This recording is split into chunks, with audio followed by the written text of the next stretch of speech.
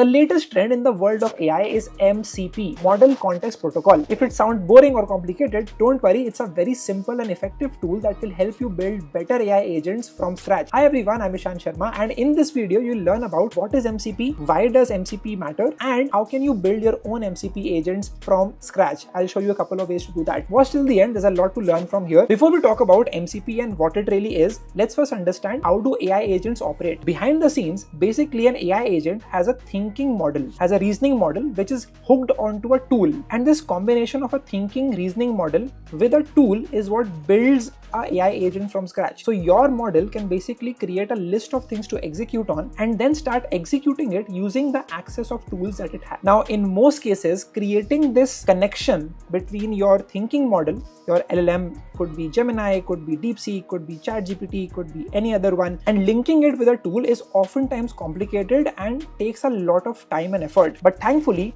with the help of MCP servers you can do it very easily and it has become a standardized way for you to interact with tools and build agents at scale. Let me show you how it really works. So Model Context Protocol was recently launched by Anthropic and if you will go read here, Today we are open sourcing Model Context Protocol, a new standard for connecting AI assistants to the systems where data lives, including content repositories, business tools, and development environments. It sounds very complicated, but essentially it helps you to connect with local databases or remote servers, which could basically be any API that you would want to use. Let's go back and look at the Model Context Protocol website. So this is modelcontextprotocol.io slash introduction. So it explains that Model Context Protocol is an open protocol that standardizes how applications provide context to LLMs. Think of MCP like a USB-C port for all AI applications. Basically, MCP is a standardized way for any LLM model to communicate with any tool. Now this tool could either be a local database or it could also be any API or any remote server that it is going to connect with via a MCP server. That's the basic idea of MCPs. Now, as you will see, just as a USB-C provides a standardized way to connect your devices to various peripherals and accessories, MCP provides a standardized way to connect AI models to different data sources and tools. So now you would ask, why do MCPs really matter? A growing list of pre-built integrations that your LLM can directly plug into. Well, previously you were using these APIs with your LLM separately and making each connection one by one. You can actually just plug and play using MCPs. So that is the best part about it. The flexibility to switch between LLM providers and vendors. Best practices for securing your data within your infrastructure. I think this is the best part about it. It is basically an open standard for communicating between a LLM and a tool. So if you will go over here, the general architecture of it looks basically like this. So you have an MCP client, which could be Claude, it could be any IDE, it could also be any model. And now this communicates with either a local data source or a remote server, which could basically be web APIs via a MCP server. So you're basically talking to this MCP server and it is making it much easier for you to communicate with any tool and execute anything that you want to. For example, let's say you want to have a AI agent which can order stuff for you from Amazon. Now previously you would have to build every single action from scratch. For example, opening Amazon or logging into Amazon or adding something to cart in Amazon. Now these are separate functions which you would have to build for from scratch. But thankfully, imagine having a MCP which can just communicate with your LLM and do all the things without having to do it one by one. That is the power of MCP. Now, if you go down over here, you have definitions of what are clients, what are servers, what are data sources, what are remote services. But ideally, it's going to make it a lot easier for you to build AI agents which can scale and are effective. There is also a GitHub repository for MCPs. So you can scroll down and you can basically view all the SDKs they have available. But you can also just go to the servers part of it and see all the servers that you can currently use. So for example, they have access to Brave Search, enabling your LLM to search the web in real time using the Brave Search API just by using the simple Brave Search MCP. If you go down, you have access to Git and GitHub. So imagine being able to access GitHub and do all the actions without having to actually go on GitHub yourself. You can do all of that by having a GitHub MCP available for you. But keep in mind that because MCPs are open source and anyone can create any MCP they want, it can also be risky. So all you have to do is to go to Smithery. Smithery AI is a popular repository of all the current MCPs that you can access. So you can go in the featured section and you can see all the most popular MCPs which are going to be safe to use and are useful as well. So for example, if you go on sequential thinking, it will talk about what this MCP does, implements, provides a tool for dynamic and reflective problem solving through a structured thinking process. That's one MCP that you can access to. Again, the GitHub MCP which I just told you about with which you can create or update any file in your repository. You can search a repository, you can create a repository and you can get file contents. That is how it works. Previously, you would have to build these functionalities step by step, one by one.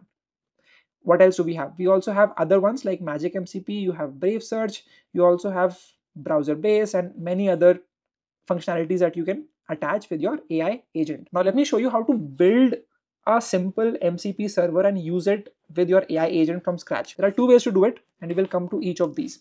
The first and the most easiest way to do it is by using Cline. So I'll basically go to Visual Studio Code and you can access this by downloading Visual Studio Code on your laptop. And once you do that, you can go to extensions and search Cline. Once you install Visual Studio Code, you can search for Cline and you can install Cline for you. Cline is again an AI coding assistant that will help you just code anything that you would want. We'll click on Cline and we'll basically click on use your own API key. So basically, Cline is a functionality that will require a LLM with which it can create any code that you would want it to. Now we can enter a API provider over here, which could either be OpenRouter or it could be Anthropic, it could be OpenAI, it could be Google Gemini, it could be DeepSeek.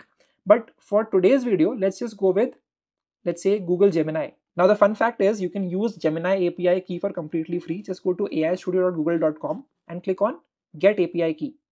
And you can create an API key right here. And let's just go with Gemini API, create it right here. You can basically just paste it over here and click on let's go. So now Cline is going to be able to run because you've entered the Gemini API key. So this is good. Now if you go on this MCP server's icon over here, you can now search any MCP that you want and you can install it right into Cline And Cline will be able to run it because it has access to Gemini. So I can basically just say, um, let's just take an example of, let's just go down and see what do we have. You have Blender MCP, you have access to Solana, you have access to email sender, you have Magic UI, you have SendGrid, you have Firecrawl, you have all of these Airtable, Git tools, there's so much that you can actually build from scratch with the help of these agents. Let's say, for example, I want to use, let's see, let's say I want to use a Google Calendar API. So I can basically just click on installing. Now the last step in creating this MCP is to basically go to Google Cloud Console and get my calendar API.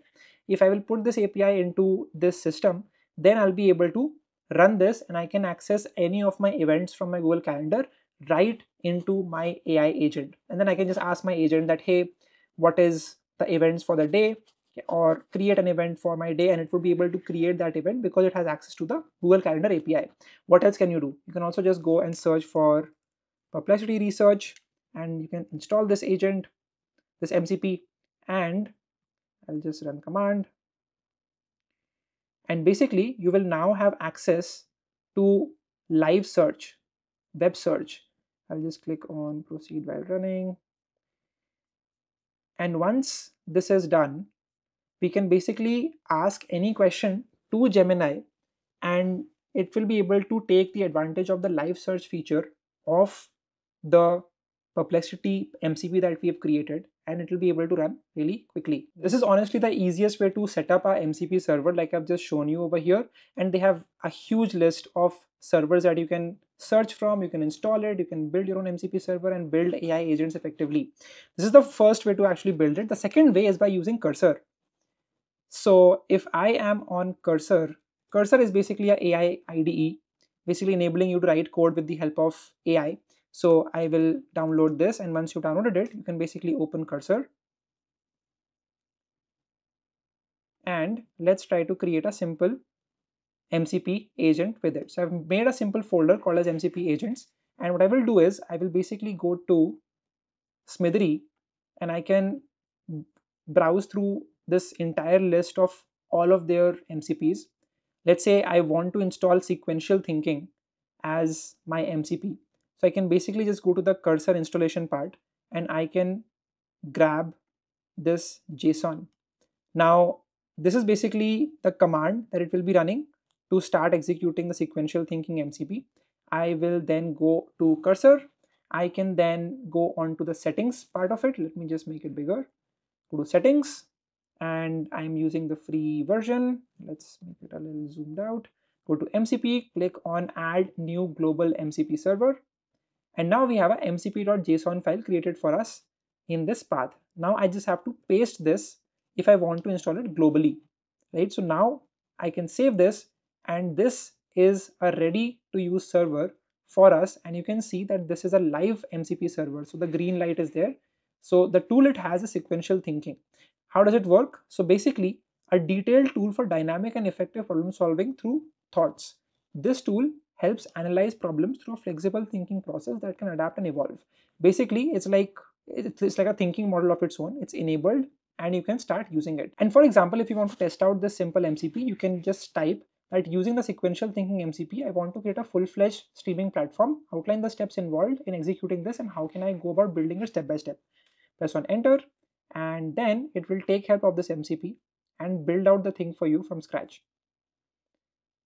It's going to call the MCP tool, sequential thinking, and now you'll get the reply from this. It called the tool. It takes a little while because it's a free tool and doesn't require a API, the API key. So it will take some time, but you'll get the answer for it. Let's actually look at the other things you can also do. In the meantime, you can also try to set up a GitHub MCP if you want to. So all you have to do for that is to go on to cursor and you will need a GitHub personal access token. So this is going to be another API key. So you basically go on your GitHub, you go on to GitHub, go to your settings, and over here you can go to passwords and authentication. And over here, or actually you just need to go to developer settings. You need to go to personal access tokens, click on fine grain tokens and try to generate a new token. You enter your password, press enter and you can basically just call it uh, mcp demo for 30 days all repositories this applies to all the current repositories and you need to actually give permissions for everything so depending on what you're comfortable with you can give permissions for read and write. Read only read only. And once you you're done with all of this you can basically just click on generate token. And you would now have this token with you which you can basically go on to go on to github. And now you can just go on to Smithery you can paste this person access token you can click on connect and now you would have access to this json that you can just copy and while we were working on the github mcp this sequential thinking MCP got back to us with a response, creating an in-depth plan for building a streaming platform from scratch. So as you can see, it's a very in-depth sequential answer. And if you want to build another MCP, you can just go over here. Let's say you want to remove this. We can add our GitHub with our personal access token, and then we can save this. And as you can see, now you have access to GitHub. And you can do all of this. You can create or update file. You can search repositories. You can do so much over here. Let's say for example i want to use this github mcp so i can basically just say using the github mcp create a repo title new mcp agent and add a readme about mcp agents and how to build them and now i can basically just click on enter and now it would basically use this GitHub MCP and the person access token that I have to create this repository from scratch. Now, if we change the permissions, we should be able to create or update files, but this is basically an example of how to create MCP agents from scratch. Let me know in the comment section what do you think of it. I just love the options that you have. Like if you just go onto Smithery, you can basically have hundreds, if not thousands of MCP agents at your fingertips and you can build practically anything that you would want. Even on Cline, you have access to so many MCP servers. It makes it very easy for you to just plug and play, just use the Gemini key and you can build anything that you would want. Also, what you could do is you can basically just go and change it to Open Router on Cline and you can make a simple free account on Open Router in which you can basically just paste your Open Router key. I'll just sign in with Google and I can create a key right here and just call it MCP agents and I will create it. I'll paste this right here and now I can basically search for any of these models right here. So I'll just search for free and now I have access to all of these free models that Open Router just provides me for free. So I have Qwen, I have DeepSeek, and I have Google, Gemma 2, Gemma 3, and we have all of these free models that we can access all because of Open Router. So just click on this and I can now start using Google Gemma 3 if I want to, or I can also just basically use DeepSeek for example and click on done. And now all of my requests will be handled by the free model of DeepSeek, which is used via Open Router.